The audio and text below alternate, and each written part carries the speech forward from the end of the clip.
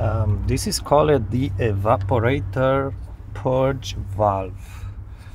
Volvo you got the part number here when the camera will focus. I think both turbo and non-turbo are the same. 2003 and up it sits somewhere perhaps under the intake waiting for the camera to focus. 2001 to 2002 somewhere on the radiator radiator fan now this guy it's a little bit tricky to undo it. You see the hose coming from the intake. And there's also a hose or rather a tube.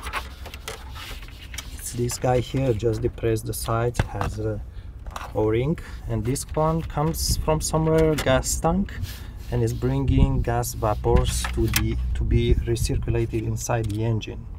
Now I found my valve. My car has about uh, what's that 130,000 miles on it non-turbo but the turbo also have one the same I think. And I found mine was sticking. Uh, I'm using a 9 volt battery. And basically when I put my uh, wires on it it just didn't move at all inside. That's not a really a good thing. I don't know if I have codes or not. I don't have VIDA. But I recommend you try to uh, check it out. It's really easy. Just uh, put a wire on it and after I've, I've been uh, touching it uh, several times it's starting to move. So you need to hear it click it like this. And also I'm not going to test because I don't have three hands. When you detach the uh, fuel side hose when it's open so you connect the two wires here let's just try. So when it's open like this if you blow air here it's going to you will hear it passing into the intake.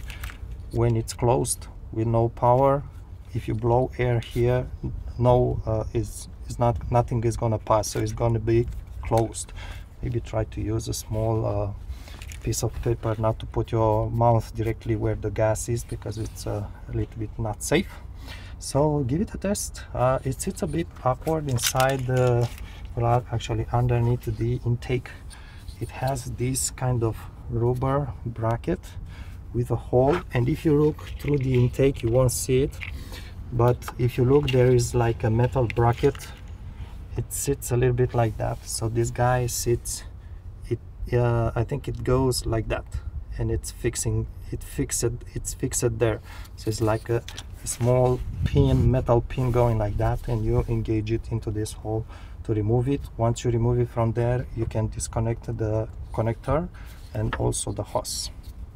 And by the way this guy goes really and I mean really dirty. I did clean mine but when you are going to put your hands on it you are going to see your hand black and that's how you find it by the way. It's a good way to identify this thing.